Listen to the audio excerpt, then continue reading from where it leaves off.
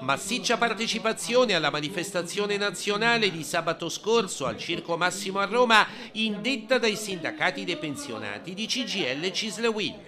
Al centro dell'attenzione la rivalutazione delle pensioni, l'allargamento della quattordicesima, la riduzione delle tasse all'insegna di un fisco più equo, la sanità e una legge sulla non autosufficienza.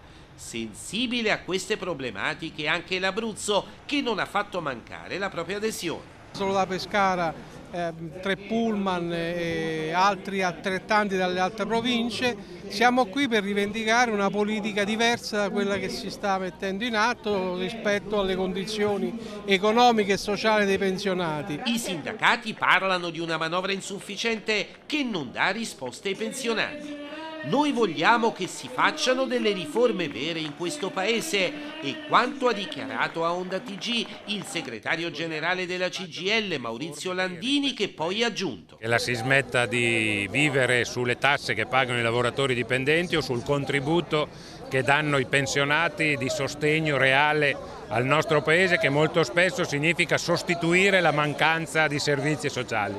E diciamo al governo che c'è bisogno di aprire un processo di riforme di fondo che parta sia dalla riforma della legge Fornero, sia da una rivalutazione vera delle pensioni, sia da un piano di investimenti che crei lavoro, perché è chiaro a tutti che per dare risposta ai pensionati e per un nuovo Stato sociale c'è bisogno di creare lavoro per chi non ce l'ha e c'è bisogno di combattere l'evasione fiscale. Per i sindacati si tratta di una manovra beffa vista la mini rivalutazione da nemmeno 50 centesimi al mese inserita nella legge di bilancio. In tal senso chiedono risposte al governo. Il segretario generale della UIL, Carmelo Barbagallo. Gliel'abbiamo già detto, forse era meglio manco farlo, perché mezzo bicchiere di vino in un albergo costa 6 euro, si, si bevono in un colpo solo tutto l'aumento dell'anno prossimo. Gli anziani sono quelli che dopo la guerra hanno ricostruito e reso grande l'Italia come seconda potenza europea industriale. Così, sempre la nostra emittente, la segretaria generale della CISL, Anna Maria Furlan,